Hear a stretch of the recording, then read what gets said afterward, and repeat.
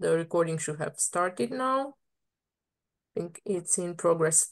Uh, I hope everyone hears uh, and sees uh, the shared page.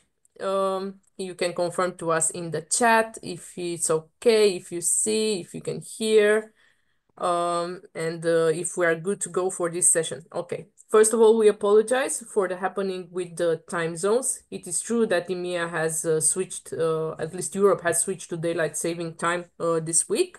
America did not. And uh, there was a sync, a bad sync in our platform, in our event platform. And uh, we apologize for those of you who had to wait in the waiting room uh, for another 40, 50 minutes or so until uh, we appeared to open the session and let you know that we will start soon. Uh, nothing was lost. Uh, those of you who cannot stay longer, you will have the recording. But uh, of course, all of you who can stay, uh, we would really love to have you live with us. Uh, it Wednesday will start at uh, 4 p.m. CET. I already mentioned in the chat, so if you look a bit ahead in the chat, uh, move a bit up, you will see the official starting hour. The official starting hour will be uh, 4 p.m. CET, uh, 20:30 p.m. IST, 11 a.m. EDT. So uh, you have there uh, the free time zones and meanwhile my colleague is right now trying to sort the platform problem. So if you on wednesday if you log in directly from the event you will have no problem whatsoever to uh, have uh, have it at the right hour in your calendar. Uh, there will there should be no such issues on wednesday because uh, your calendar saved block will take you through the event link. Uh, okay, uh, because we are just starting the last week of this incredible program, I want to congratulate everyone who has been with us so far and it's uh, still here. Uh, all of us know that it was an amazing journey so far uh, for our trainers and mentors as well. A lot of learning, a lot of exchange, uh, a lot of people attending to the sessions, but priceless, priceless information nonetheless. Uh, we had a lot of engagement and questions from you, and for this we are really, really grateful. Uh, it feels like we are all learning and discovering together, and we really hope that uh, you will choose to finish this program and to move onwards to certification. Uh, and uh, before we move uh, onwards, I would just let you know how uh, that next step is going to go like uh, the step for you getting the verification test link and uh, if passing getting the certification exam voucher so uh, this week for the final session we will prepare a form. Uh, we will first send it to the email database of the first session where we had most of the attendees but also to you in the wrap-up email. Uh, so you will receive a form where you will be required to submit the form in case you want to move uh, forward to certification. This means that uh, if you uh, submit that form, you will have confirmed that by 15th of November, you will have completed the learning plan uh, in Academy and you are willing to take the verification test exam. Uh, keep in mind that the verification test link will only be sent to those who have actually completed the learning plan in the Academy uh, we will have a cross check with our academy team uh, and based on the account uh, you provide on your name in the form, uh, we will check with the academy account that the learning plan is completed.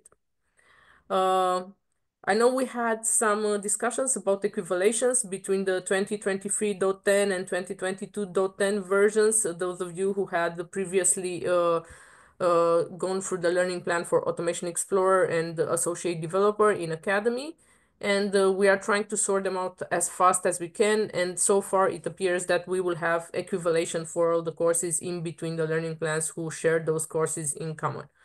Uh, hopefully by next Wednesday, we will have the decision as final from the academy team and there will be no such issue with those who have already completed those courses uh, so that you won't have to go through the whole 30 hours of learning again. Okay, uh, if there are any other program related questions, uh, you can watch the forum thread. You will receive most of this information in the wrap up email. You will also find it right here on the program page. So all the timeline and the thresholds for uh, the series are here in program timeline. So you will know exactly when is the next step and what to expect. Uh, and yeah, we will answer every other question we receive on forum gladly. Uh, but please check first uh, the wrap-up email you will get with all the information and uh, the program page. And for the program page, I will just share it again right now So you all know this is like your core resource for the information related to the program and the steps. And because we are already a bit late today, maybe uh, now I will switch to our first mentor today, uh, to our MVP Pradeep, who will be your first mentor for the session. And uh, let's go into communications mining. yeah, thanks, Christina. Thanks for hand over to me. Uh, thanks everyone uh, for uh, waiting on the lobby for uh, such a long period. So without doing any delay, uh, let me share my screen.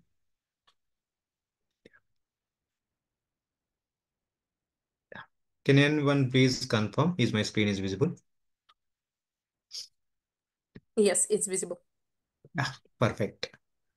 So, uh, thanks everyone. Uh, thanks again for uh, joining this particular uh, session in the part of uh, AI Associate Developer Series. So, this is the part of uh, seventh session we are going to take it. So, today we are going to discuss about one of the product. The product name is called as a communication mining. So, let me introduce myself. This is Pradeep. So I'm I got two time MVP award and working as a senior consultant for the WonderBotz. Uh, Pranav, uh, you can introduce yourself. Uh, same here. Uh, I'm also two times UiPath MVP and working uh, as a senior consultant at WonderBotz. Yeah, that's great. So today we are, uh, uh, without doing any delays, uh, just uh, starting the session because we have uh, spent much of time in the lobby itself. Uh, before uh, directly jumping into the communication mining, uh, just I want to showcase the high level of uh, architecture, uh, high level of thing, what kind of products we have and where we are using that particular products and when we are going to use the communication mining. So in which phase of automation we are going to use it. So as we know, in uh, higher level, uh, we have three phases for uh, doing the automation. So one is the discover, one is automate and uh, operate.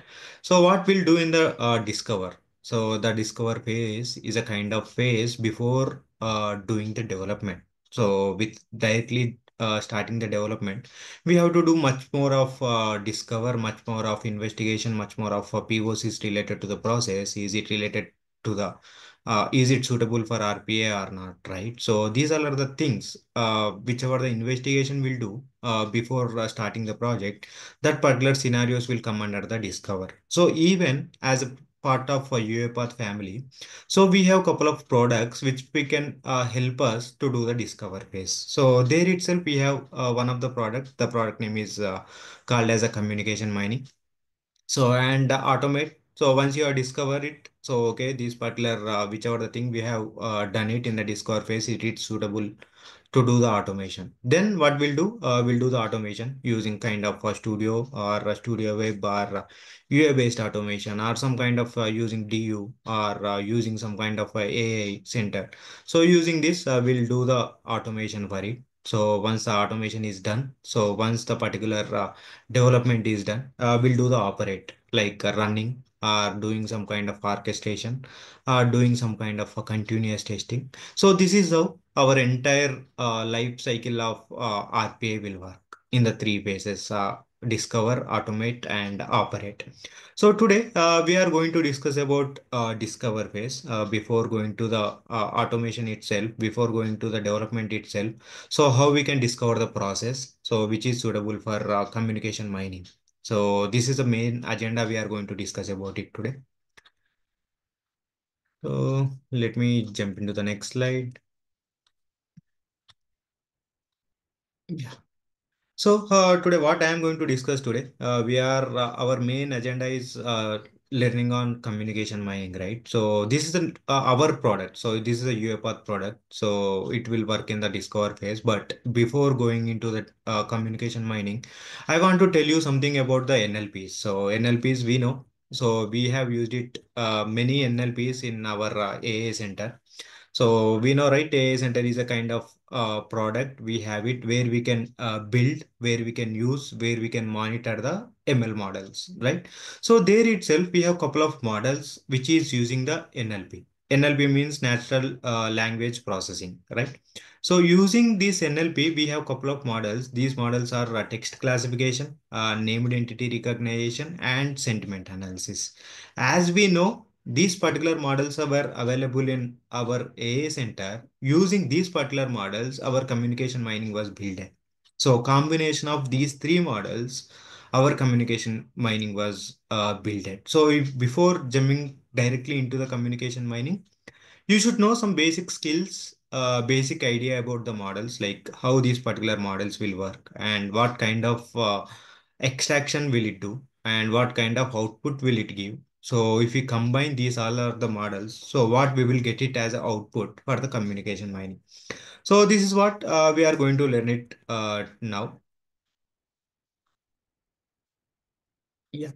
So let me uh, tell you about the text classification here. Uh, so the text classification model, how this particular model will work. So if you are sending some kind of uh, text to our model, so based on the text, we can identify which type of uh, text is it. So if you are sending the data about uh, some kind of uh, laptops or something, so we can decide it, right? So this is the text related to the laptop. So if you are uh, telling about some kind of weather or something, so we can able to identify as a human, we'll get to know, okay, if you are speaking about the weather, this is per particular city or something, right?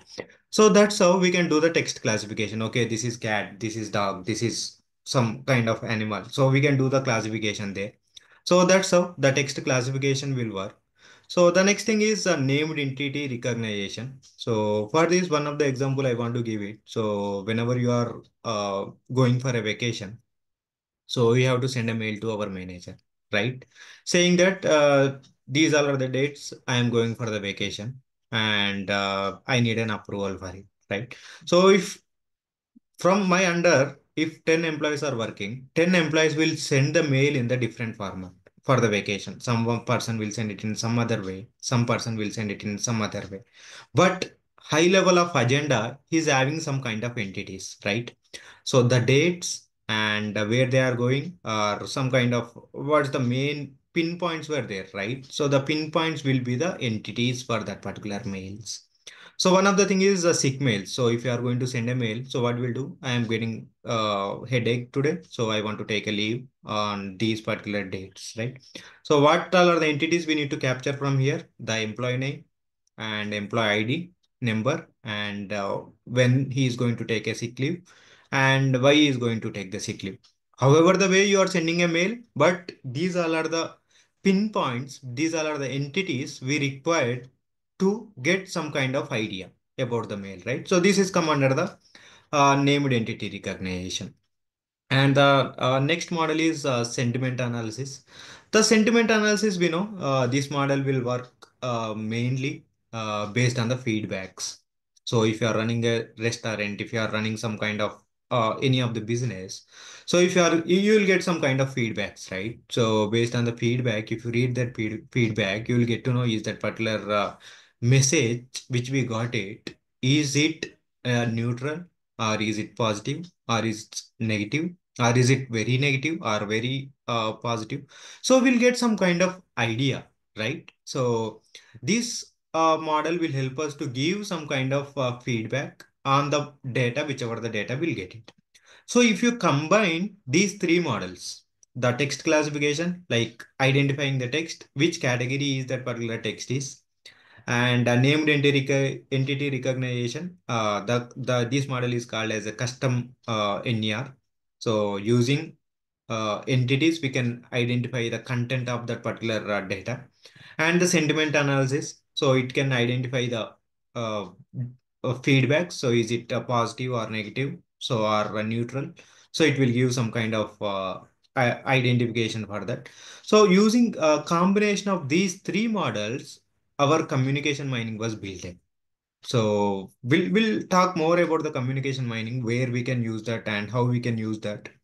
Uh, we'll we'll go through the entire stuff in the next slides, but the high level of thing is based on these three models, our communication model was uh, building. So let me check the uh, chart. So it's something. Yeah, it's not much necessary. Yeah, let me go to the next slide.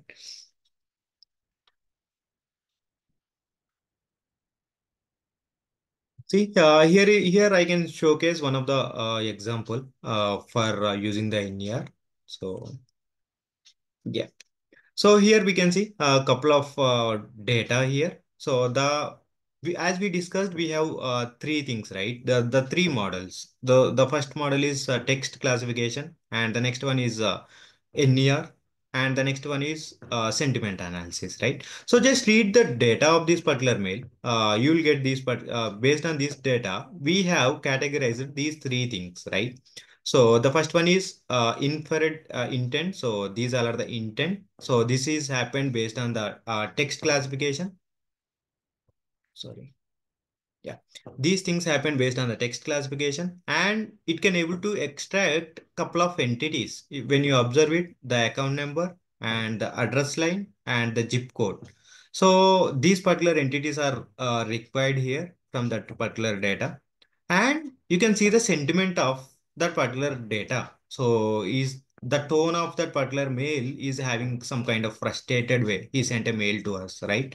So it can able to identify these three things using our uh, NLP. So this is how uh, NLP will work. I'll showcase how this NLP will come into the picture of uh, communication mining and how we can use this communication mining in the real time and how we can integrate real time applications uh, with our communication mining.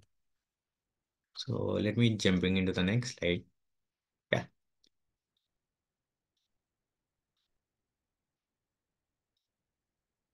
So uh, here, uh, basically what our communication mining will do. So communication mining will read the free text. So whichever the way you will send it, so it will read the data and it will identify the intent of that particular message. If it can able to do some kind of a reply back to that particular intent, it can do that. But as we know, uh, now now it the trend is going on for the ChatGPT, right? So when you see the ChatGPT also doing the same. So if you send some kind of message, it will give some kind of reply, right? Or if you are asking something based on the prompt, it will give some kind of uh, response uh, from the ChatGPT. But we have uh, much difference when you are uh, comparing with the ChatGPT because uh, chat GPT is built based on the supervisor learning. Uh, supervisor learning means uh, if you are having the data of historical. So we need much more historical data to uh, build the model. So our chart, uh, the ChatGPT is built based on the historical data. When you are working on the communication mining, it is unsupervised learning. It's not required much amount of historical data based on the free data itself it can able to identify based on our labeling so we have to do some kind of labeling but it's not required much as ChatGPT is using the data as a historical one so that's the major difference we have it here uh, when we are comparing it to the uh, ChatGPT and the communication uh, mining so the ChatGPT will work on the uh, supervised learning and the communication mining will work on the uh, unsupervised learning so as we know, uh, so each message counts when you are working for any of the organization. Yeah, if you are working for any of the ticketing uh, mechanism, so each message will count, right? So everyone will send a message in the different formats. So if someone wants to uh, get repair of his machine, he'll send a message, right? So that particular message, our communication mining should be able to understand it and it should be able to uh, give some kind of fix to that particular customer. So this is the high level of uh, expectation we are expecting it from the communication mining. It's it's one kind of example, but we can integrate this particular uh, thing, this particular uh, integration with uh, Outlook. We can do it with the Salesforce. Uh, we can do it with the ServiceNow. Uh, we can do it with the Azure. So we can do it in with the multiple ways and we'll get it connected with our communication mining and we can read the data and we can connect the data source to it and we can give some response through the robot. So this is what uh, we can do it. Yeah.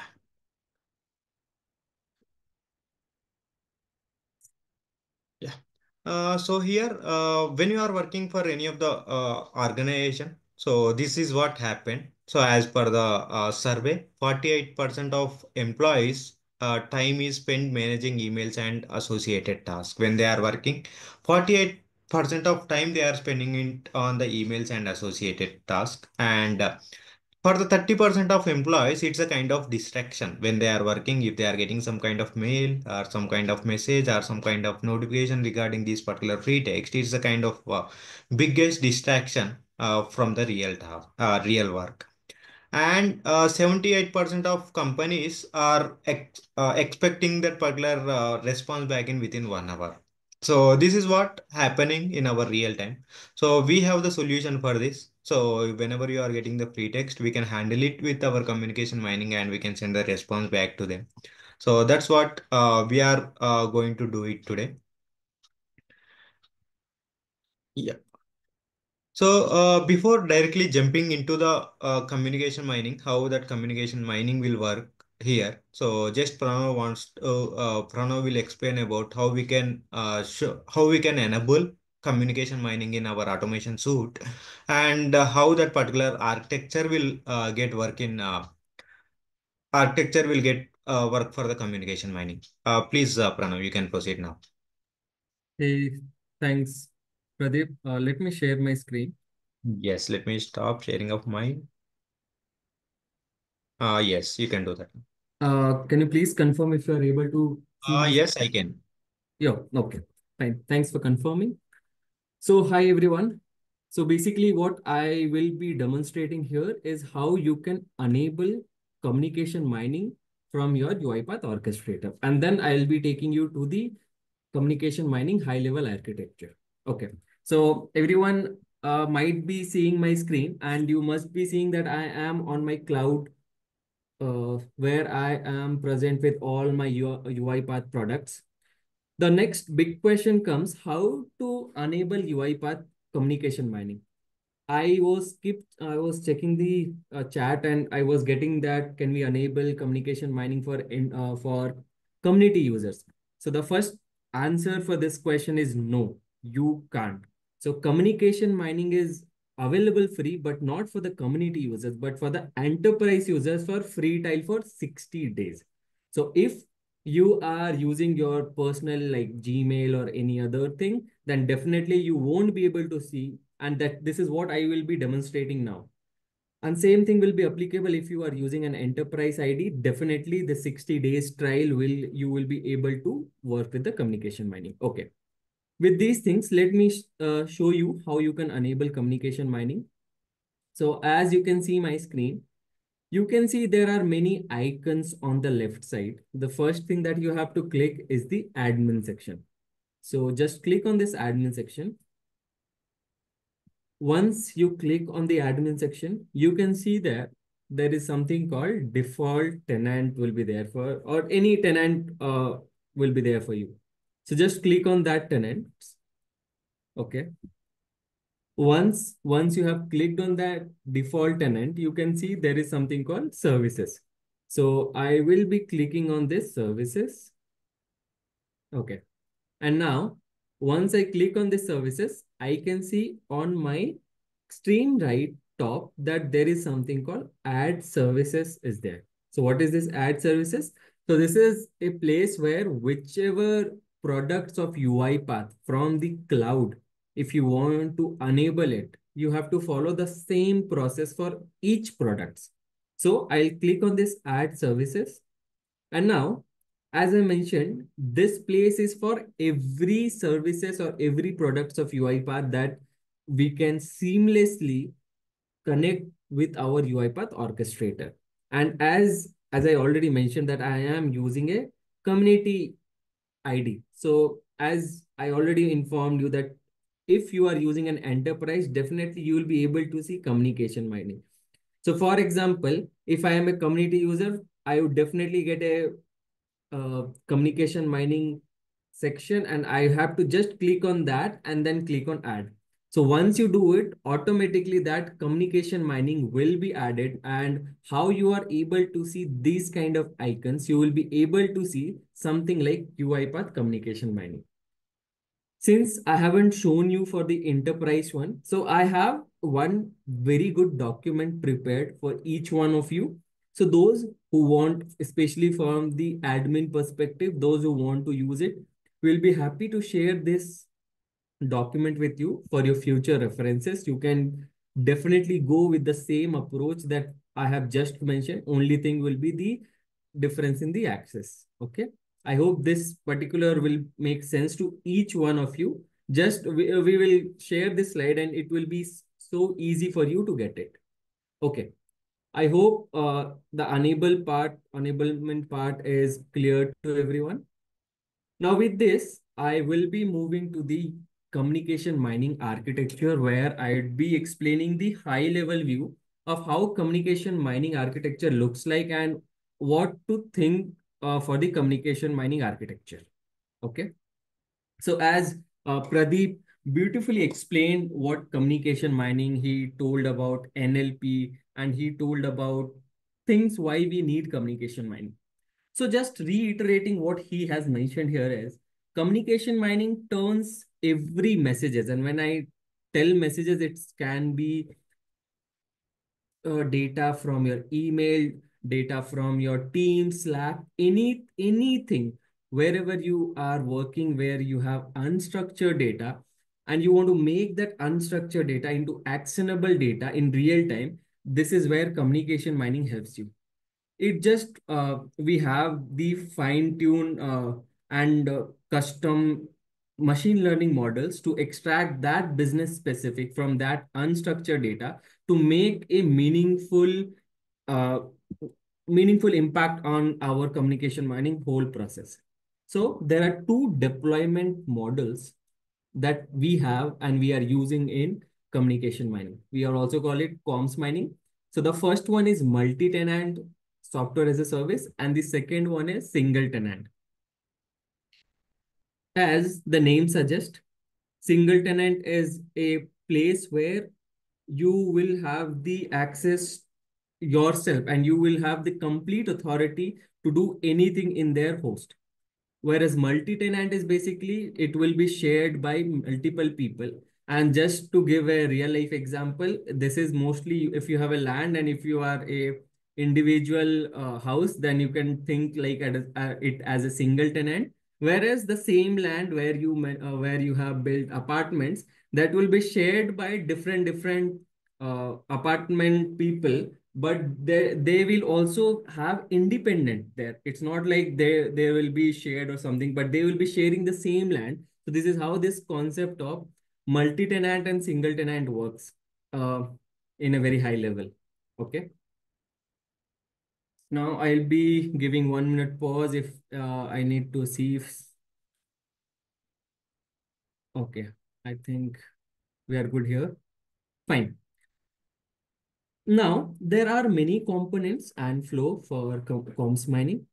First thing is how the first big question that we must be asking ourselves uh, that how are we connecting every data source? For example, if I'm talking emails, Teams, Slacks, or any data source that, that whatever we are dealing with, how to connect with this.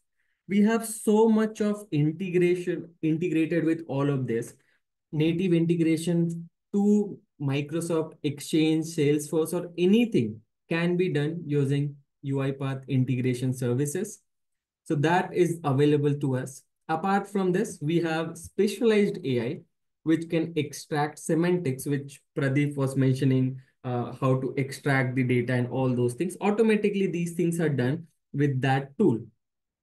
Then we have unsupervised learning model, to identify common intents and constantly search for new ones.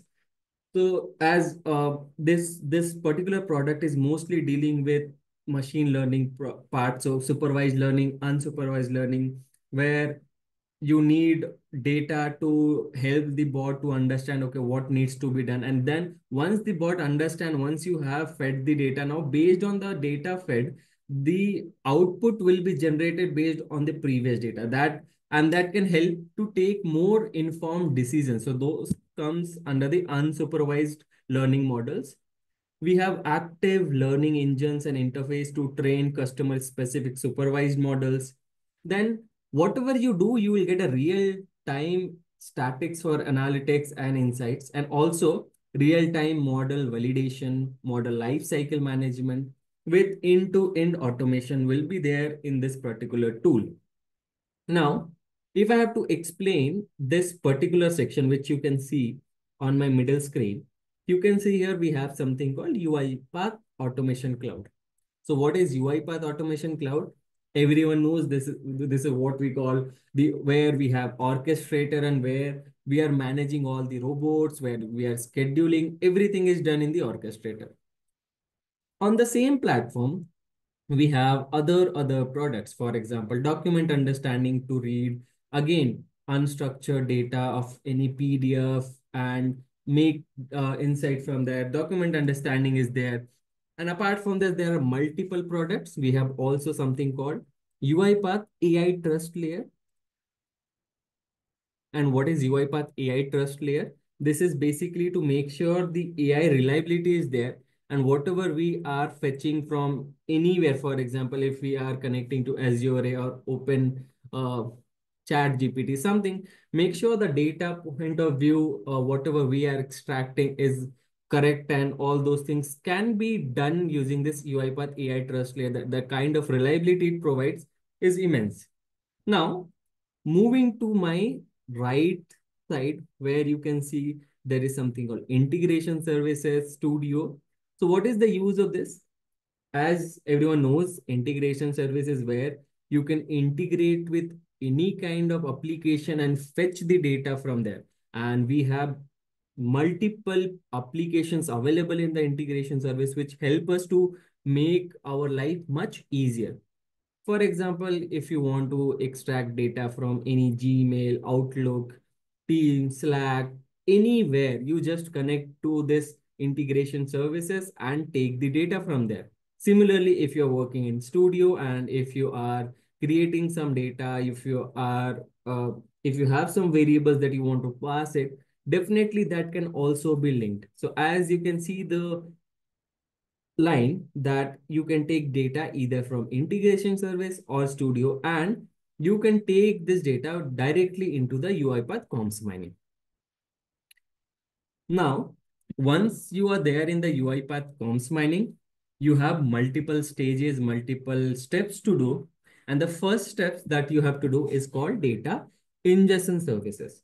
So what is data ingestion services? So this is where, this is a place where once you click on your project, then you have to mention from where you have to bring the data that we are talking about, the unstructured data that we are keep on telling that we can, we have to read data from multiple sources. So this is the place where you will mention all those things. I want data from my email. I want data from my uh, this application. I want data from this application. So this ingestion services helps you to ingest the data into the application. So this place helps you to ingest it. Next, as the name suggests, next process is data processing services. So what is this? As the name suggests, processing. So it will help you to clean or process, clean, and make sure the data that you have get, because you will get a lot of data and not every data you need in your product. So this place will make sure you clean the data and make sure whatever you needed, you, you have this. For example, the insurance uh, email that you might have seen that you might have received or the example that he was telling, the uh, Pradeep was telling that uh, your manager, you want to apply for leave, 10 people are sending you uh, application that I won't leave on this, this, this. You might be sharing other mails to your manager as well. So those things you don't need it because ingestion will help to get all the data. Data processing will help you to make sure you get only the leaves data here. Okay. I hope I am clear till here. Any questions? Let me see if I am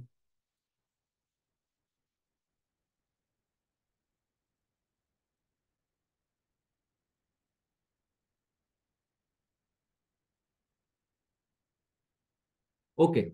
Now, now you have the data. Now you have cleansed the data. Now there is something called embedding services.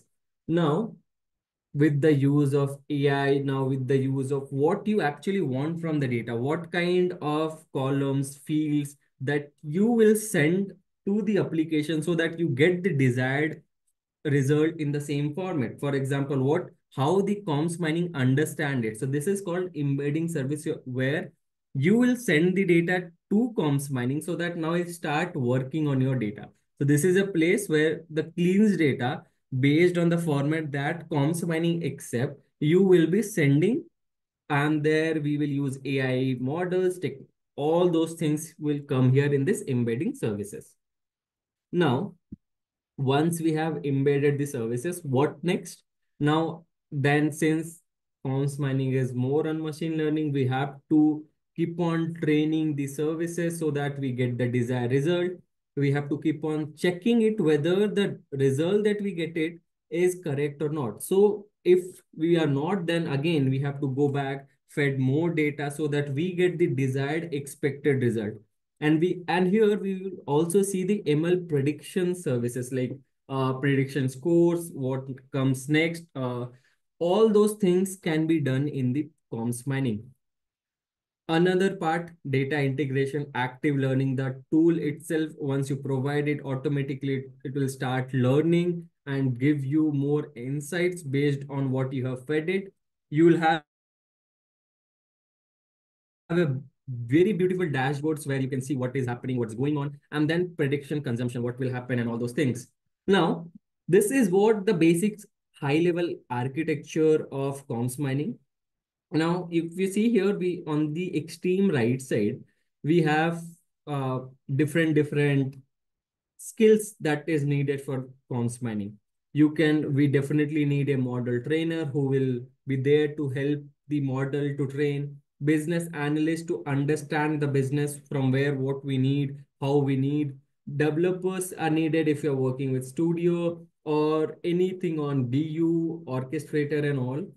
And similarly, if you are needing, uh, if you need data from any API, then API user should be there. So this is all about the high level architecture of comms mining. Now I'll hand over to Pradeep uh, to take the next part. Thank you. Yeah, thank you so much, uh, Pranav, for uh, explaining the architecture. So here, from here, I want to take uh, two points. Uh, let me share my screen. Yeah.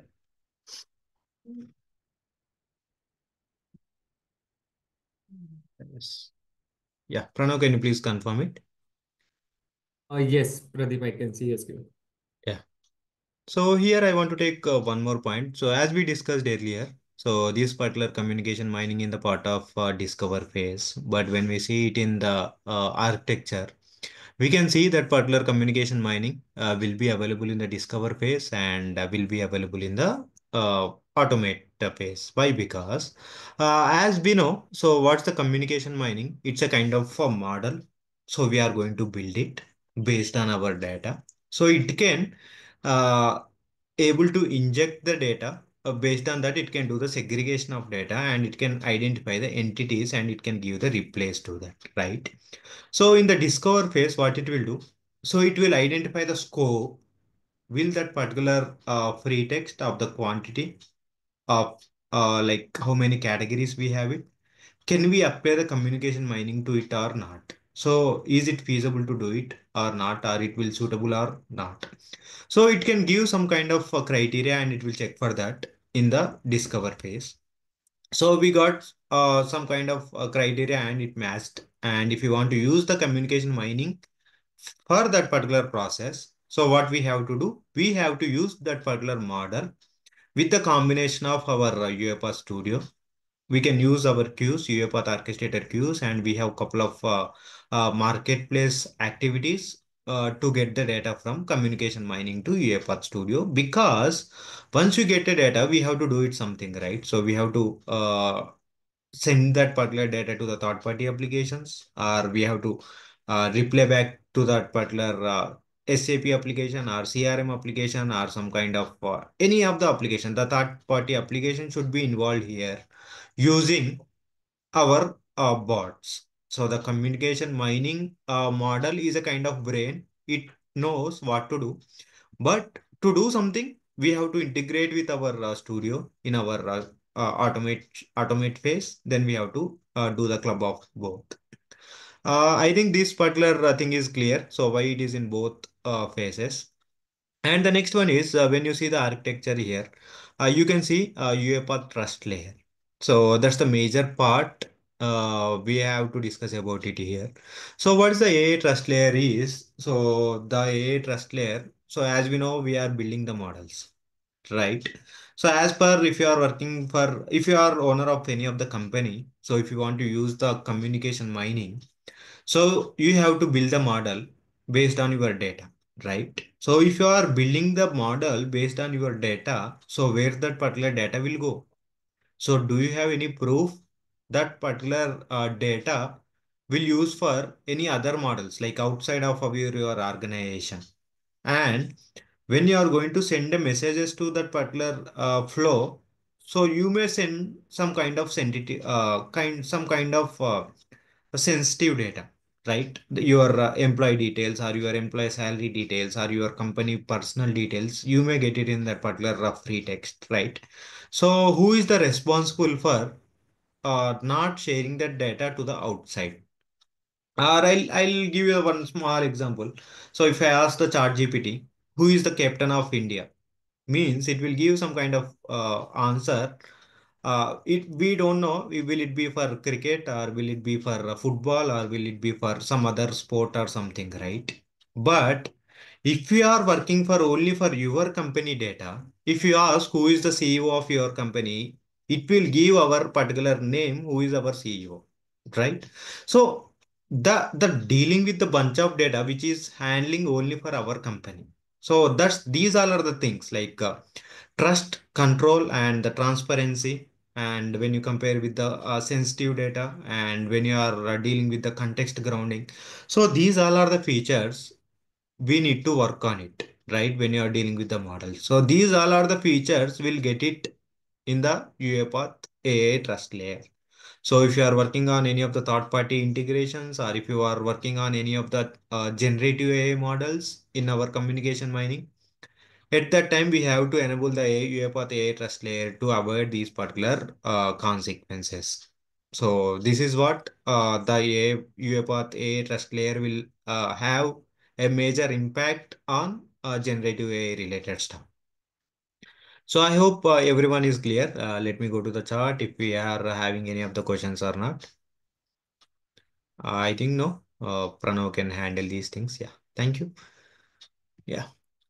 So now uh, we are in the picture of uh, communication mining. So we are uh, moved to the communication mining now. So we got an idea now. So what can be handled it in the communication mining and what communication mining can do that and how the architecture of communication mining and what are the features we have in the communication mining. We got bit clear idea about it, but uh, when you go to the real time, when you are applying it in our uh, product, will get more idea about it. So here is the uh, straightforward thing. So what communication mining will do.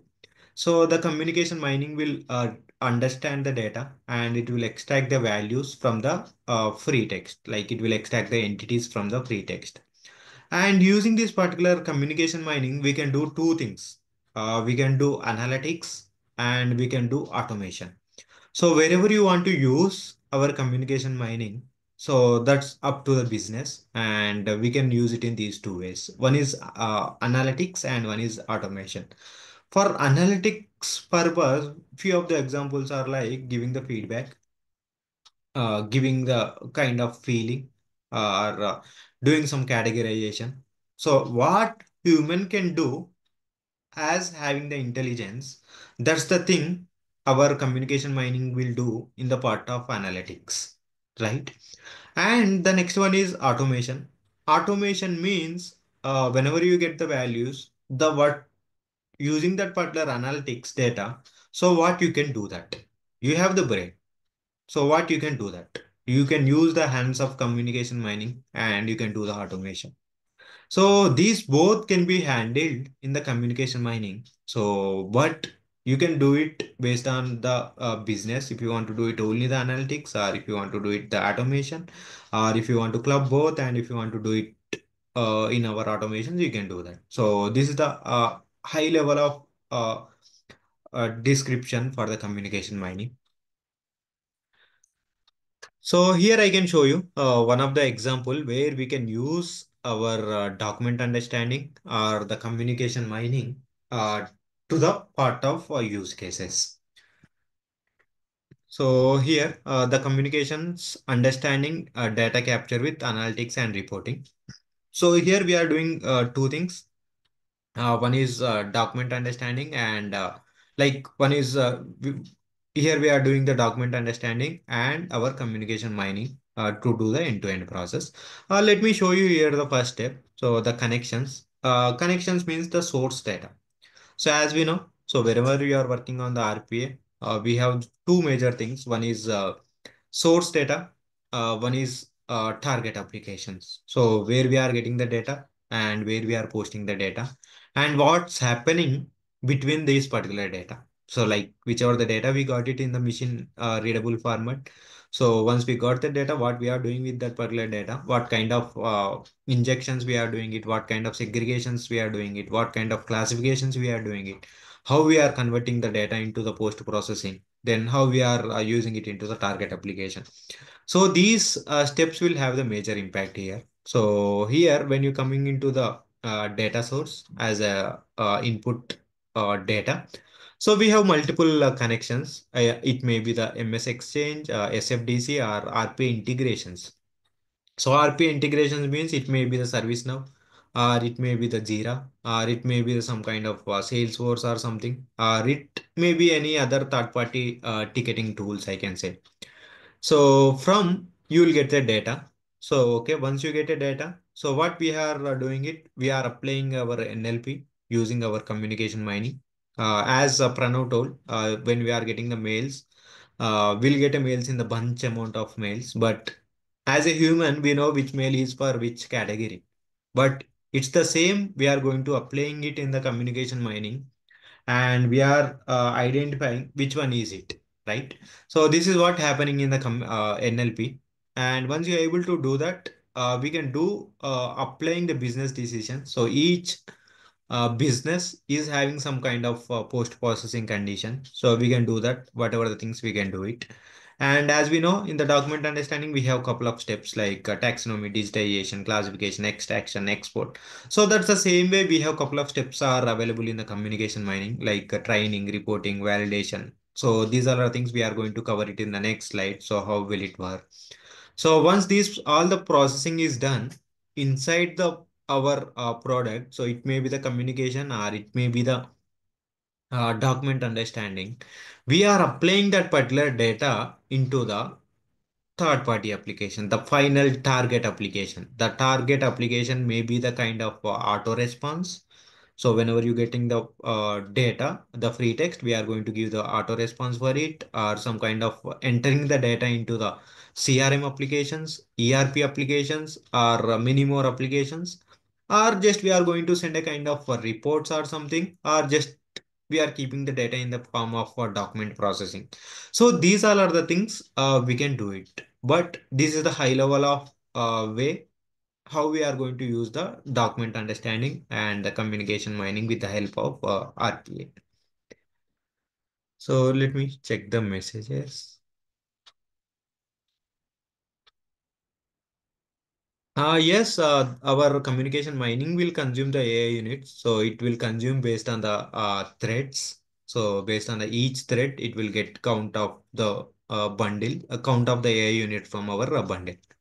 So I'll check all the uh, questions at the end and we'll discuss about it. Uh, Pradeep, So, one yes, uh, question that is very common, you can definitely take this, that everyone is asking about the security part, that uh, uh, Mm. apart from this UiPath AI Trust, can we bring our own model or any kind of things for the uh, customers for this extra security? Ah, yes, of course. So that's the reason we are working on the generative AI models. So we have implemented many use cases uh, with the help of uh, specialized AI and with the help of uh, generative AI, the combination of both. So one of the example I can give that. So we know, so if you are if you want to use uh, if you want to read a 10 page document, from the 10 page document, you want to read one of the entity. So as we know, we have the specialized AI. So specialized AI means document understanding or AI center. So if you use this particular document understanding and if you want to read that particular 10 days, 10 page document and if you want to extract the data, so how much time will it take? It's it's a kind of complex, I can say, bit complex to use this particular uh, scenario to the documentation. But if you upload that particular document to the uh, ChatGPT and if you prompt it, uh, please give me the uh, this particular insurance number from this 10 page document means you will get the response in the seconds. So which one will be the easy? So for this particular scenario, ChatGPT is easy. The ChatGPT integration, we are calling it as a generative AI. But our question is when you are uploading the data, when you are uploading that particular 10 page document to the ChatGPT of our integration, that particular data will be the same or not. So that's the area we are using the AI trust layer. So we can use this particular AI trust layer to all the third party uh, models, which we can uh, get it from the out of box models or which we are going to build it using Python 37 or 36. So we can use the AI trust layer. I think this is the uh, this is clear. Thanks, Pradeep. Yeah. Yeah. So uh, here uh, we have one of the question. Uh, we have one of the sample. Uh, just before directly jumping into the communication mining, so I am going to showcase one of the free text mail. So we are taking the data source as a uh, mail here. So this is the message we got it, and uh, based on this particular message, see how our communication mining created the clusters. So this one is called as a cluster. This particular mail will come under the policy. And inside that policy, we have amendment, amendment. And inside this particular cluster, we have the address change. So this is the first address and this is the second address, right? And one more uh, cluster is policy, amendment, and the name change. So this is what? So these are the clusters were created by our communication mining. Using our communication mining, this is the source data. We interpreted, uh, we injected these particular data to the communication mining. We segregated data. We did the classification of that data. We have done the cleaning of the data. We got the data in this particular format. What our customers and customers are expecting it, right? So using our intelligence, using our bot intelligence of uh, models, we have made it in this particular. I'll show you how we can do that. Uh, these these are the things in our uh, communication mining. So, yeah, so this is one more example. So when you are getting the same kind of uh, mail uh, with uh, quality of service, so we have to um, get some kind of uh, keys, key insights here. So it should be the uh, as soon as possible. That's the reason it, it took it as urgent and the status update. And this is a cluster uh, exception mismatch block. This is a, a cluster. So I'll, I'll explain you about what is a cluster here uh, when you are dealing with the communication mining and the confirmation and the CTM and this is a kind of uh, follow-up mail. So this is how it got identified. So based on this particular keyword, we can send this particular mail to particular unit or we can move it move this file to particular uh, folder or something we can do it in the target application so yep without doing any delay so let me uh, show you how we can uh, use the communication mining. So this is the high level of communication mining, how this particular uh, communication mining will work. So this is the source data. Source data uh, will get it in the different format. So it may be in the format of uh, email server, or it may be the part of a chat server or CRM or CMS, any of these things. So whichever the data will get it, uh, we are taking the data as a source, uh, as a data source or uh, some kind of some kind of input way. So we are taking the data, we are ingesting it to the communication mining and we are storing it.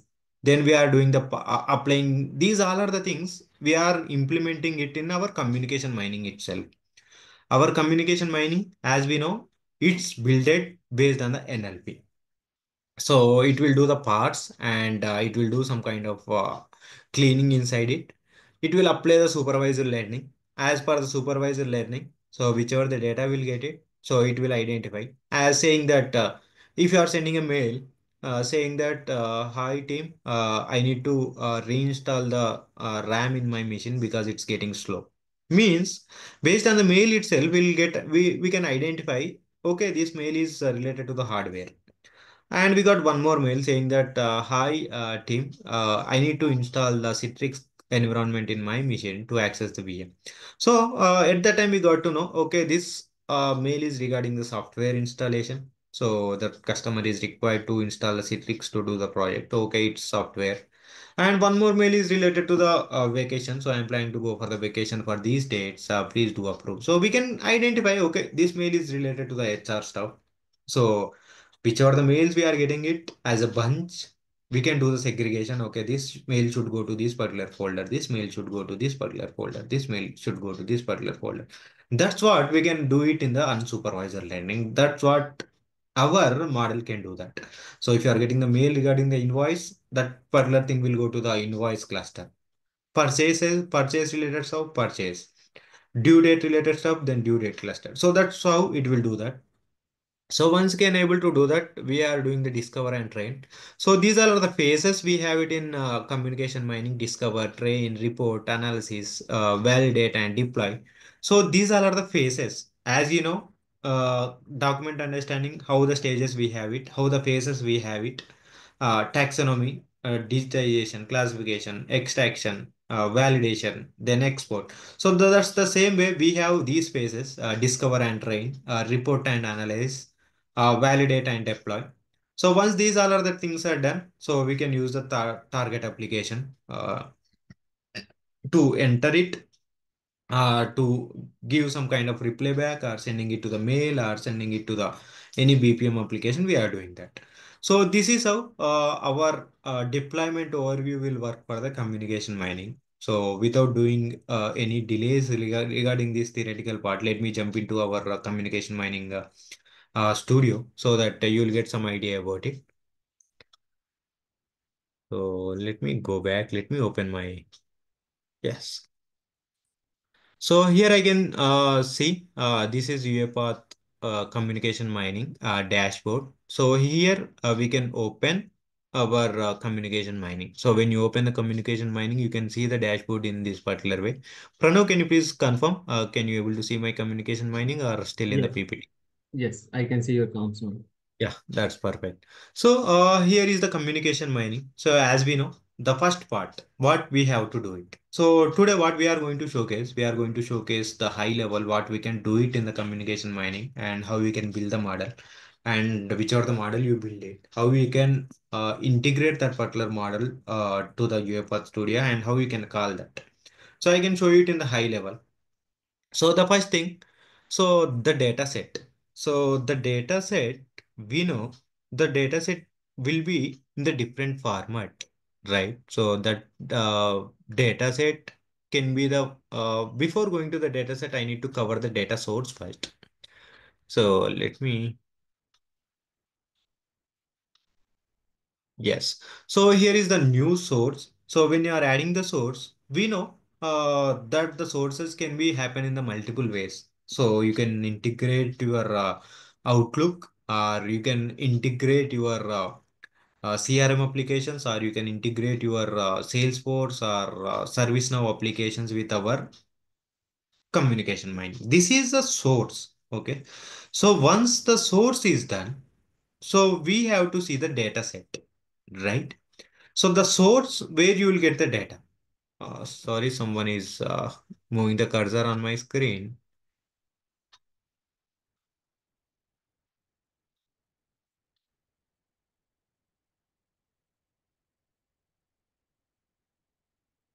Uh, give me one minute. I think I can clear these uh, things.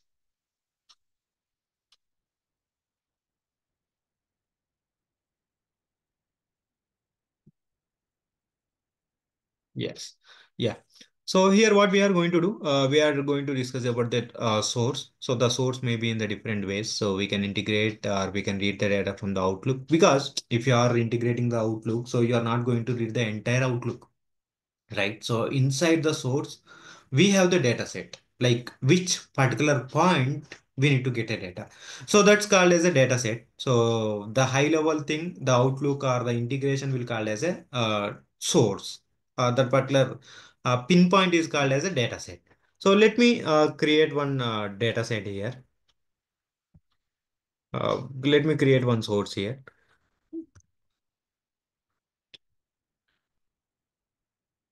Test source. So if you are having any bucket, like if you are having any storage buckets or something, uh, so where the where you can where you want to store the data, you can do that uh, here. And we can do these things and we I created the source. Okay, so now I created the source. Uh, now what we can uh, now we created the uh, source for that our uh, our thing. So then what we can do, we can do a data set. So the data set can be created in that way. Just we need to create an uh, a data set. And if you want to, uh, how you want to add the data to our source. So if you are having the uh, API details of your uh, particular source machine, so it may be the Outlook or it may be the ServiceNow or it may be any of the input uh, data from where we are getting that. So we have to provide these all are the details here. Then we need to click uh, next. So just let me give something here. Uh, test uh, data set the project. I am giving uh, this particular project and source, the test source. I am doing that. Then I am clicking on the next.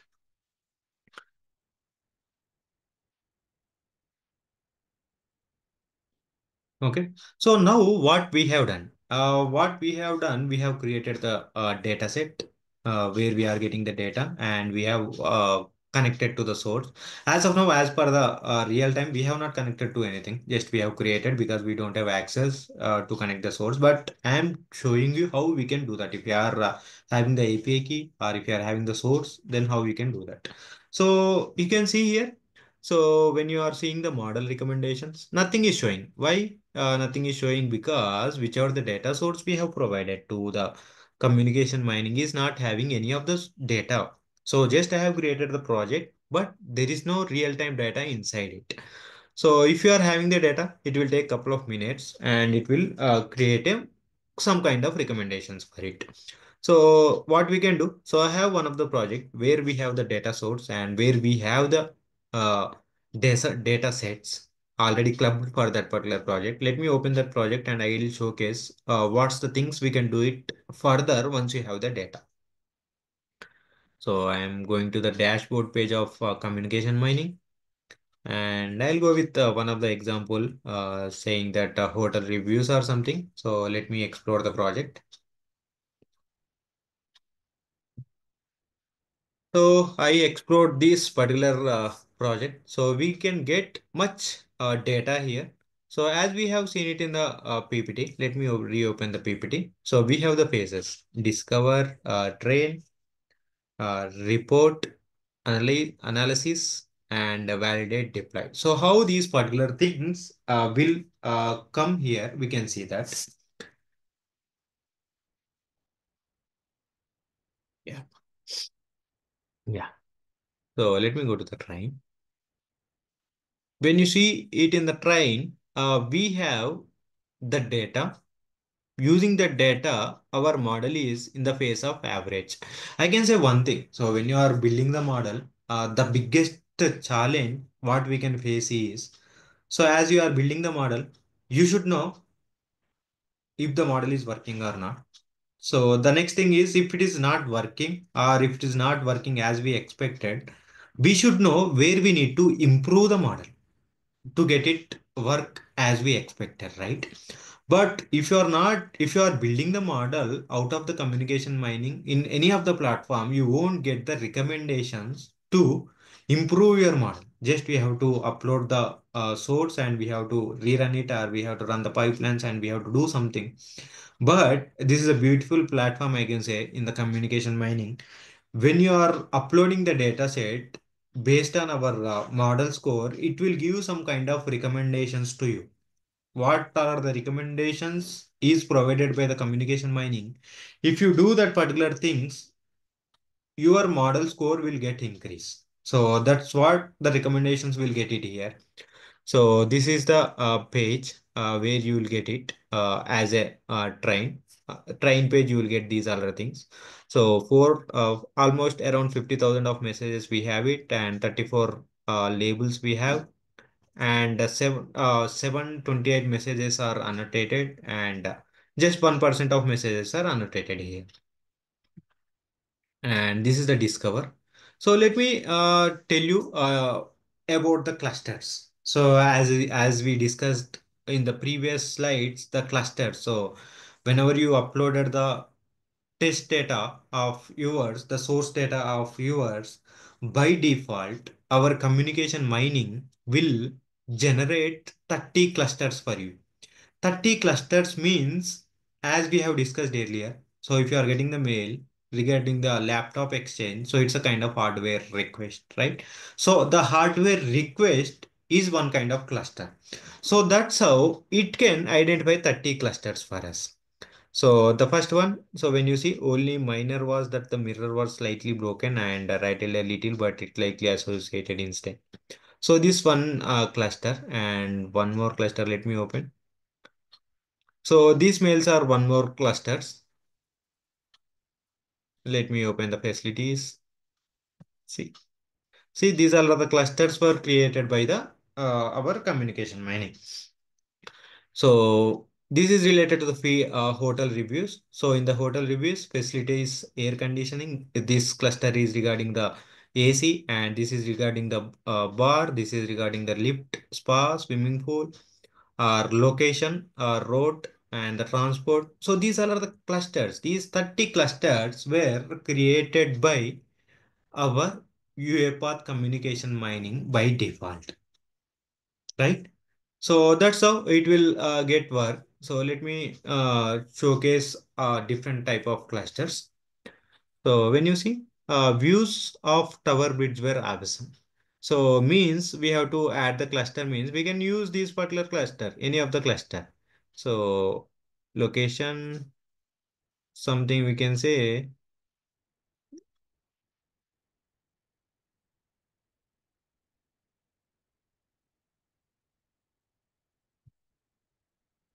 we can give the cluster any of the cluster we can uh, give that okay property i can give.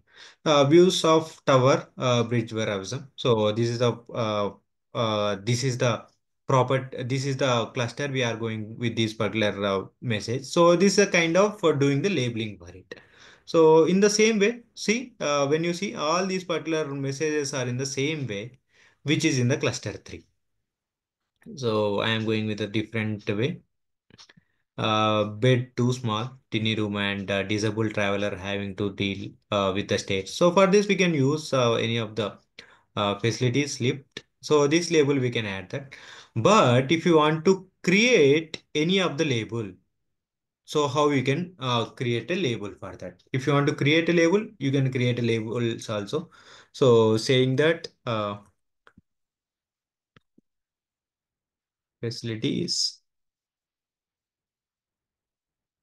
then uh, we can uh, say TV. So inside the TV, uh, we can say uh, channels or something, or uh, we can say any kind of uh, interruption. Uh, we can say channel itself. Yeah. So this is one kind of uh, label I can say. See, so this is how uh, we can create a labels and we can add one more thing as saying that uh, uh, facilities, uh, bathroom, and the smell. So this is uh, one more uh, label. So this is how we can create a label for it. So whichever the label we have created, so that can be applied to it. So if you want to remove, you can remove. So based on the message, uh, based on the data, whichever the data we got it, uh, from the source data, we have to select the particular label for it. So this is how we are doing the labeling of our input data. So this is how we are identifying for which mail, what kind of cluster will be suitable. So that's what uh, we can do it here. And with this, we can see a couple of more things. We can see the metadata also, like whenever you get a mail. So what kind of mail, uh, like when that mail got uploaded and what's the score for it and what's the reviewer score and uh, what's the name of that particular hotel, what's the question for it. So these kind of metadata also will get it. But this particular discover tab is used to do the labeling. So you have to do the labeling. So when you apply all this labeling, so when you do the apply, so your score will get high. So now what I am going to do, uh, just doing the apply for here. So here you can see it's updating it. So you can see it's updating it and the version is 2. So earlier we have one version. So this is the second version. And let me explore, uh, go to the next tab, explore.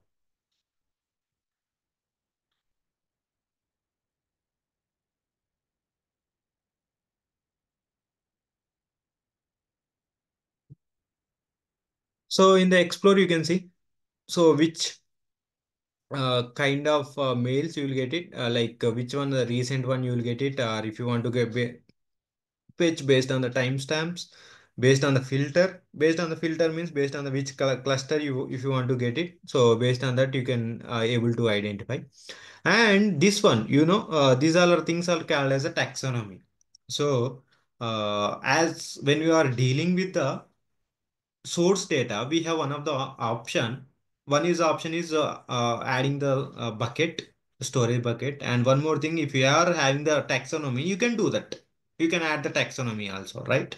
So these all the fields from the taxonomy. So when you see, so regarding these particular, we have uh, lack of 238 and we are lack of uh, 1200. So these many samples we required to make these particular field as an accurate to our communication mining. So if you label uh, more 1071 of uh, labels to this particular, not the, yeah. So low, low number of uh, training examples. So if you are applying the more labels based on the lift, so your model will get uh, high uh, contents. So these fields are coming under the taxonomy. Yeah. So here uh, regarding the recommendation, so the recommendations will be done in the validation part. So the recommendations will be in the part of uh, four categories. Uh, one is all labels and underperforming labels and the balance and the coverage. So based on these four categories, uh, we can calculate our uh, score for our custom model. So when you see the models, okay, we are excellent. We got much more uh, labels here and underperforming labels. So we have a couple of uh, labels are not up to the mark, like not having enough source data to do that. And the balance and the coverage. So this is how we have to do the model improvements for our model. So these are the criteria. So the first one is poor. So when you go it, so the similar to the unreviewed data. So we have to review these all the data, then that our model score will get increased. And underperforming labels. So here you can see that particular recommendations, what we have to do. Uh, the recommendations you can see, right? So basically our communication mining is a uh, low code platform. Uh, the no code platform, what it will do, it will teach us if you are uh, spending some time with our communication mining, it will teach you how to build a model based on the recommendations itself. Whichever the things it is uh, telling, just you have to follow that particular things and we have to see uh, how the score is moving. So how the model is uh, improving the data type, uh, improving the contents. So the labels is uh, 90 per, uh, excellent. So you don't need to touch here. So these are the recommendations if you want to make it uh, very high. So that's how uh, the uh, recommendations we can give it here. The next one is uh, reports. The report means it's a kind of a beautiful dashboard, I can say. So whenever you are getting the mails, as we discussed, is it HR, is it software, is it hardware, and how many mails we are getting it? Uh, what's the count of the previous month? What's the count of the previous one year? Uh, inside that particular uh, HR mails, inside the uh, leaves, how many mails are related to the uh, planned leaves? How many meals are related to the uh, sick leaves? When you are dealing with the vacation uh, facilities how many uh, are related to the hotel facilities? How many are related to the spa facilities or bar uh, facilities? So it can do the categorization and it can give the uh, report. So we can we have different way of uh, representing it. So you can see how many ways we can see the report so this is the tree map. When you go to the property, inside the property, we have staff. So if you click on the double click on the staff, sorry, it moved out. So we have multiple things. Uh, this is inside the uh, property. We have uh, staff, breakfast, bathroom, cleanliness, decor, and check-in, carpet, noise. So this is how uh, it will get work. So inside the location, if you go to the location, uh, other uh, these two things were available here. So if you go under the facilities, again, bar, spa, TV, air conditioning, lift, swimming pool, Wi-Fi, other.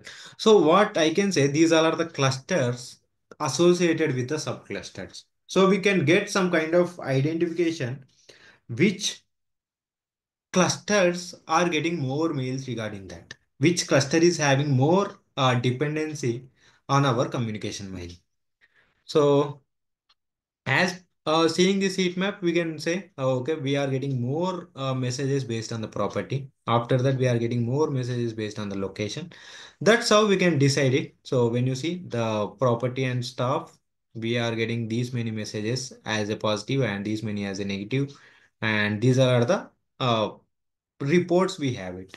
So this is how uh, we'll get some kind of a clear idea. Uh, so where we have to use our communication mining, which cluster should be the major part to consider. So like if you are uh, implementing the communication mining in your uh, uh, machine, so which cluster will be the suitable for our communication mining based on the quantity, based on the uh, messages we are getting it, we can identify that. And the next one, uh, here you can see a couple of trends also. So the trends it's entirely related to the dashboard. So how many messages we are getting it. So see from the first one year from 2017 so based on the time uh, based on the date we can see some kind of uh, reports here and the comparison. So this entire piece is uh, related to the uh, reports. Okay.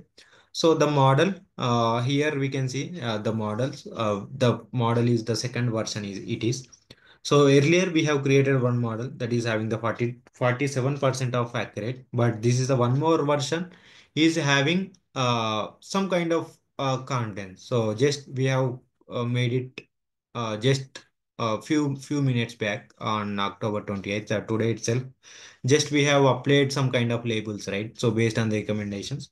So when you are using the recommendations when you are applying the recommendations in your model your model uh, version will get upgrade so based on that upgrade your confidence will get confidence score will get increase so that's how our models will get work.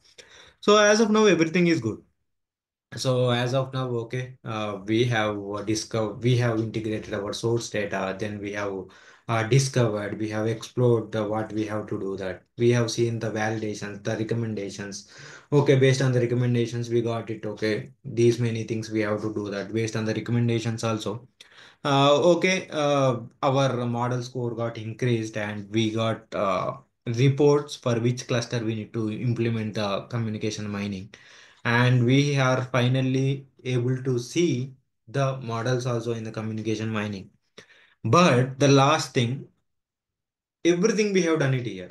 But how we can integrate this particular communication mining with our uh, studio right that's a major part uh, everything you have done it here as a model creation and everything is done as per the test data as per the source data but how we can use these particular models inside our UiPath Studio. So that's where coming into the picture of uh, streams. So what we have to do, the streams is a interface between communication mining to our UiPath uh, queues, orchestrator queues. So when you create a stream here, so what it will do, so based on the API, based on these all the details, so what it will do, it will make a interaction between the studio, uh, uh, interaction between the orchestrator queues and our communication mining. So we have a couple of uh, uh, marketplace uh, things, the marketplace uh, activities, uh, which can send a data to communication mining to the orchestrator queues using the stream. So just you have to download the marketplace component from the marketplace and uh, give your stream name, whichever the stream you are going to mention it here and whichever the queue names we are providing it uh, to the orchestrator queue. So, uh, sorry. So based on that, what will happen? Whichever the free text will come here, so that particular uh, free text will directly redirect redirect to your UiPath queues there you can do the automation. Uh, there you can do the post processing. Based on the uh, data you can send that data to the uh, any of the third party applications or crm cpm applications are doing some kind of auto response to it. So the, this is how uh, we can manage communication mining with the studio using the uh, streams. For connecting the streams we have the marketplace component. We have to create the stream here and we have to create the queues in our orchestrator. Then we have to do the sync up of uh, both. So that's how uh, it will get work. So Let me go to the chart. Once.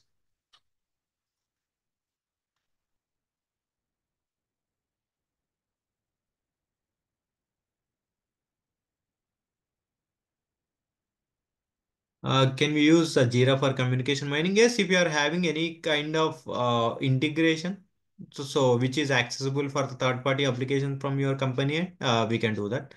So I think uh, uh, Pranav uh, uh, did a wonderful job here. So let me go back. Uh, so this is how uh, our communication mining will work. So as of now, we have got a clear idea, right? So now what I am going to uh, showcase, I am going to showcase one of the uh, demo video. So where uh, you will get some clear idea about it. So how the communication mining will uh, work. So let me open the video and let me play.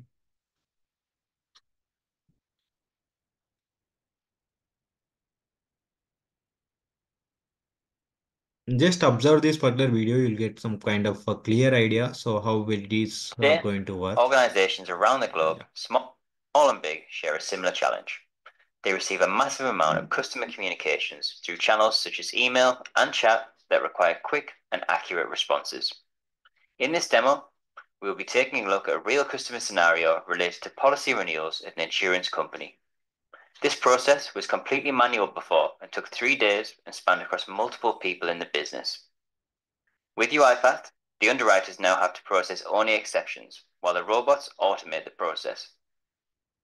They reduce the time to process each request from three days to three hours, improving organizational efficiency and, more importantly, improving customer experience. Now, let's see how UiPath are able to help customers achieve these results.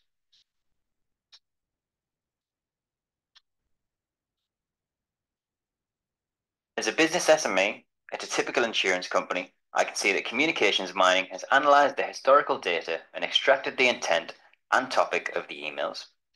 I can understand what's driving the volumes and use this data to identify high volume and high impact processes to be automated in this mailbox. I can see a significant number of these processes are transactional by filtering for the email threads that have two emails or less. And I can see that the volume is being driven by policy related requests, and more specifically, policy renewal.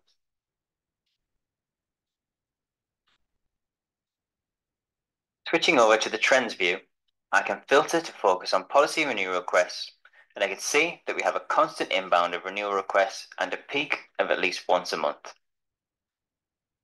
By double clicking on this data point, I can see the underlying messages that are driving these volumes. Here, I can see the predictions communications mining has made. Communications mining understands these emails are related to renewals and extracts relevant information with high confidence.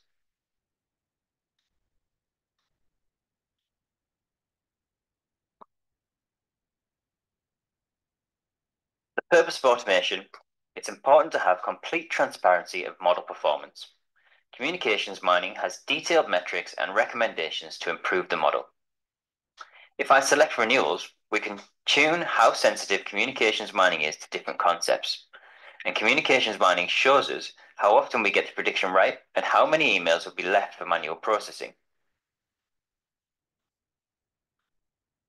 This label is performing well, so our client knew they could expect end-to-end -end automation for the vast majority of renewal requests they received.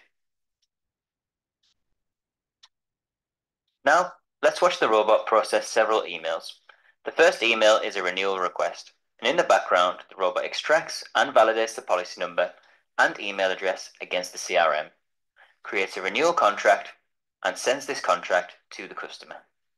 The robot has identified the next email as a quote and moves the email to the quote folder for the team to process. The next email is a renewal request.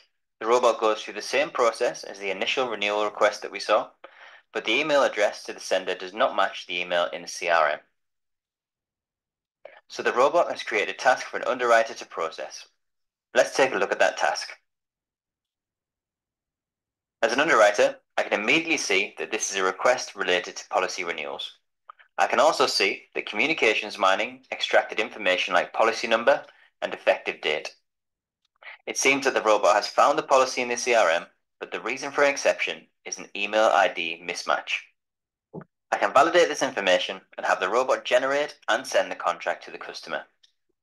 Once the task is submitted, the robot creates the renewal contract and sends it via email. The robot moves to the next email, and this email is classified as a claim.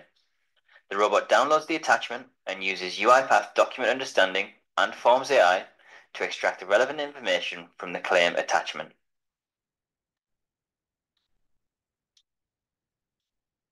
And now there is a task created for an underwriter to validate the extracted information from the document. Let's take a look at that task.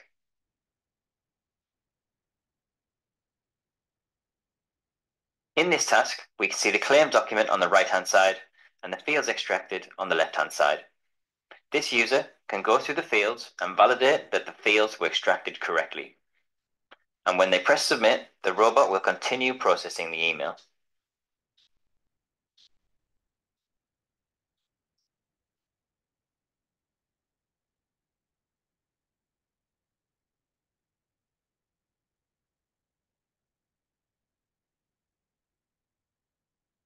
The robot takes the human validated data and creates the claim in the CRM.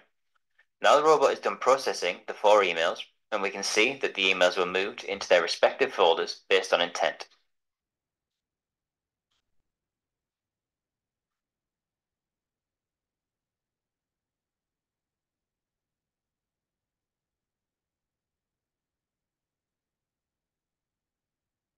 Now, let's navigate to the CRM and see the renewals request that we created.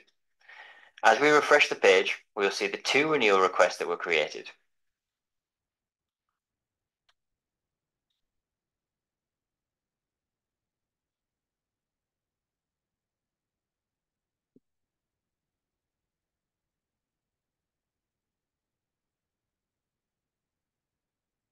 Additionally, we can navigate to the claims page in the CRM to see the new claim that was created.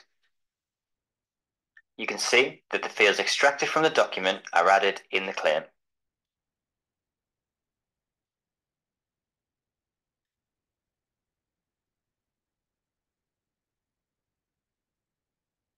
Now that we've seen a robot process a few emails, I would like to show you how fast robots can run at scale. With serverless robots, UiPath can process millions of communications in no time. On screen, you're seeing 100 unread emails being processed by serverless robots in under a minute. Underwriters only have to deal with exceptions, and as a customer, I get my renewal policy almost immediately. Communications mining enables the automatic interpretation of communications, turning them into structured, actionable data at speed and scale mine, monitor, and automate every conversation to enhance efficiency, productivity, and the customer experience. Automate more and extend automation into whole new business areas with the latest in AI and automation from UiPath.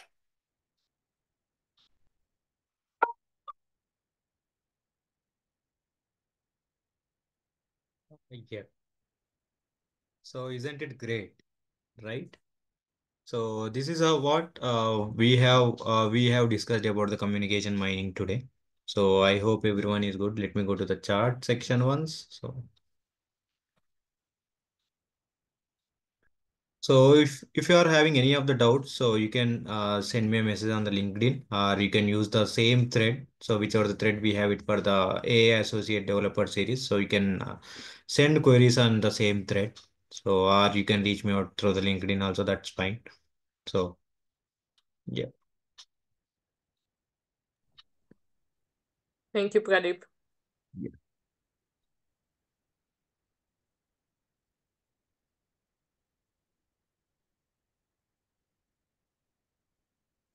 Shall we open for Q&A now? Uh, Uh, yes, we can open for two to three we more We don't minutes. have that much more time, but maybe we can open uh, for live Q&A for five minutes. Uh, I will I will now enable the participants to uh, unmute. Yes. And please uh, raise your hand if you would like to ask a question live to Pradeep or Pranav. Uh, Pradeep, one question that was very common that I have observed is. Like how is the AI unit consumption here? When we are telling one email, is it one AI unit or is it something different? This is No, very it's not exactly. So here in the communication mining, we are uh, doing the calculations based on the thread. So each thread uh, will calculate one unit on that. Okay. Yeah, it's a kind of cluster thread. So it's not based on the words or the entities. So based on the threads, it can do the calculations for that. Thank you, Pradeep. Okay, we have some questions about the video that you just played, but I suppose the link will be in the deck, no, in the final uh, PowerPoint presentation, which we will upload to the event.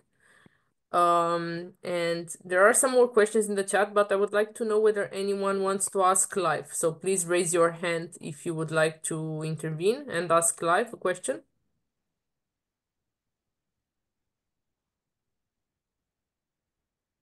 Okay, I don't see anyone raising. Or you can just unmute yourself, but do it in turns, not to speak uh, one over the other, so we can uh, understand the questions. Hey, hi. Uh, may I know what, what kind of documents uh, will the comms mining uh, not work on? Uh, what kind of uh, documents means like what you are expecting it? So basically, it's a kind of uh, data where we can uh, read Yeah. the data on the Yes. and it will give kind of clusters. So, but the thing is, uh, if you are in your uh, company, so if you are having a 90% of uh, free text regarding to that particular one cluster and 10% of uh, uh, documents are related to the, some other cluster, but then you can get some idea, right? So we have to use our communication mining for this particular 10, uh, 90% of clusters where we are getting it. But it can work for all the uh, data, all the free text because it's an unsupervised learning model. Hey, I have a question. Uh, does it Yeah. understand multiple languages? And if there are mixed languages within an email, uh, how does it differentiate between that data?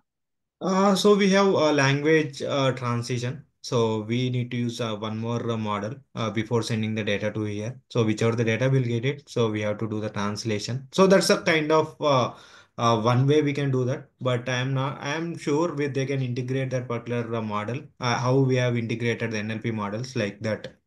They can use the lang uh, language translation uh, translation also here.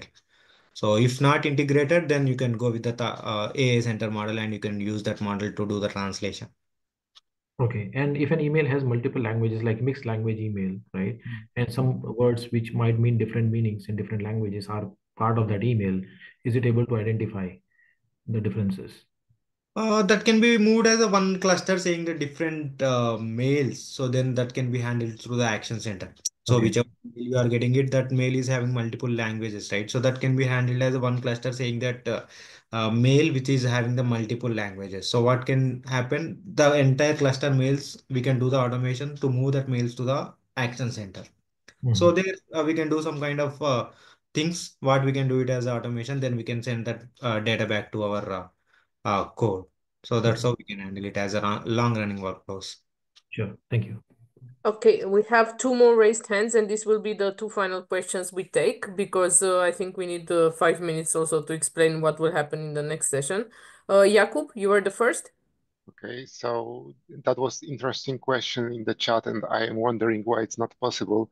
So, uh, don't you think that you can um, get the uh, recordings of the calls from the call center in some company, then make some uh, transcriptions, so like uh, uh, voice recognition, and then transcript it to the JSON format, and then this JSON format used to communications mining, then you can get sentiment of the calls, and then, for example, compare who uh, who who is going the best results, for example, in the call center, which helps managers to uh, recognize the best the best uh, operators and the worst scenarios also. Uh, that's true. Uh, that's a great idea. Even uh, that's one of the possibility we have in the communication mining. Uh, when you are uh, dealing with the data source or the data sets, we have one of the data uh, variation that is called as a speech or text. So for this particular communication mining, we can uh, use the data in this way of uh, voice uh, recording way also. So that can be handled here. But we have not done any real-time scenario on that, but we have the possibility to do that. Nice. Thank you. Yeah. Thank you, Pradeep. That's a great answer. And yeah, it's a great opportunity also for use cases. Uh, Jose? Hi, Hello. Thank you very much for uh, this session. I have a simple question. Uh, exists a, a manner that tests the communication mining into the trial proversion? And in this response is not what are the um, corresponding alternative to test this uh, solution with pro-trial version? Uh, sorry, can you please uh, repeat it again? Sorry for that. Okay, uh, I would like, what is the manner that tests the communication mining in pro-trial version? And what is the alternative in this response is not? So if there is no response means that and basically when you are using these kind of uh, models, we have to make the human in the loop, right? So because uh, we can't believe 100% of the models, what will it get it as a response? So before getting any of the response or if you are getting the response or if you are not getting the response, so as per the uh, best practice way, we have to do the validation uh, before doing the response. Then uh, after six months of uh, six to 10, 12 months of long period, we can observe our model, how that particular model is working. So based on that, we can uh, remove which are the clusters don't require the validation. So that's the way we can go with that, but it's a kind of long running uh, uh, way to go. Thank you very much. I got it. Yeah. Okay. Uh, I think uh, we we will uh, most probably uh, uh, close the session here. Uh, I will just uh, share a few links for you in the chat now for the upcoming session and uh, the rest of the resources, which you will also receive in the wrap-up email. But just to do a quick recap, uh, I want uh, I will take the share screen now a bit from my uh, colleagues. Uh, so uh, just for you to understand, since we are, uh, yes, we are getting close, you have in the chat now the UiPath forum thread where you can keep asking questions. If there are any technical or session re uh, related questions, please tag your mentors for the specific session uh, where you address that question. If there are program related questions, my big ask is first, do consult the program page because most of your queries have their answers here. Uh, regarding the timeline, regarding the certification vouchers, regarding the deadlines and the verification test, all of the answers are to be found here. Uh, I think the most important detail is that next week, uh, everyone will receive an email and you will also receive the link in the session uh, for a new form, which you will have to submit, uh, stating your intention to move forward into the verification test and the certification process. Uh, because some of you may have uh, really like engaged with this uh, series uh, and went all the way for certification and might have started the Learning Plan Academy. Some of you might have attended for a specific session only. Uh, with this form, you will be able to submit your intention that you intend to complete the Learning Plan Academy, to take the verification test, and to earn the, the certification voucher. So this will happen on Wednesday this week. Uh, I also uh, on forum we gave a message to justify and apologize for the delay we had today. I apologize once again. Uh, and you will receive tomorrow morning the wrap-up email for this session with all the details for Wednesday as well. Uh, hopefully you had a great time today. Uh, thank you very much to Pranav and Pradeep who were great and uh, I bet it took a lot of energy to answer all these questions, but the session was uh, indeed incredible and very, very nice. So thank you all. Uh, you can also let us have some feedback. If you have any, you'll receive a feedback form anyway after this program. We hope you enjoyed it. And we have one more session to go. Uh, okay. See you all next Wednesday. And have a great reminder of the week. Bye-bye. Thank you, everyone. Bye-bye. Thank you, everybody. Thank you. Thank you.